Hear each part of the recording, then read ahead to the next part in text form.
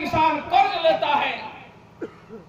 उनका घर लिखवा लिया जाता है, खेत लिखवा लिया जाता है छीन लिया जाता है। मोदी मेल मालिया एक हज़ार करोड़ बैंक से लिया जाता है। उनकी कार तक नहीं लिखवा ली जाती है। घर तो छोड़ दो। और किसानों की कर्ज माफ़ी की बात करती है तो कहते अर्थतंत्र टूट जाएगा।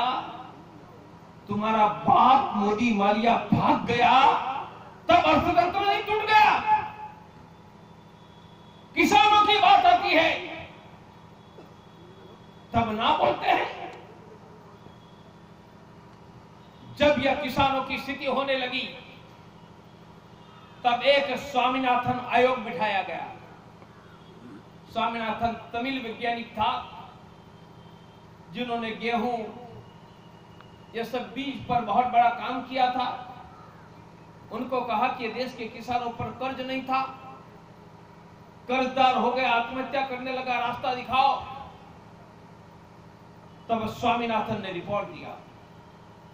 रिपोर्ट पर आठ साल तक कांग्रेस बैठी रही। पालन नहीं किया। रिपोर्ट पर साढ़े चार वर्षों से मोदी जी बैठे रहे। 2014 की चुनाव में मोदी जी ने वादा किया था कि स्वामीनाथन आयोग का स्वीकार करेंगे। बोलो, किया था या नहीं?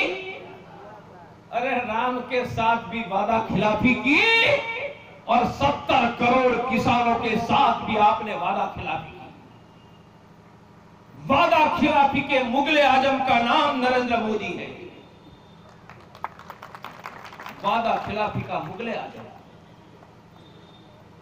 एक व्यक्ति से वादा खिलाफ करते हैं तो अभी हम कहते बेईमान है। वादा किया, उल्टा किया। आपने तो सत्तर करोड़ किसानों से के साथ वादा खिलाफ किया सौ करोड़ हिंदुओं के साथ राम के नाम पर वादा खिलाफी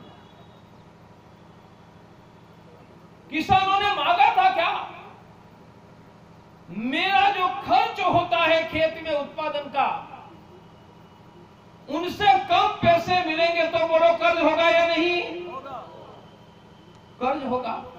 परंतु मेरा जो खर्च होता है, उनसे डेढ़ गुनी कीमत मिलेगी तो किसानों पर कर्ज होगा क्या?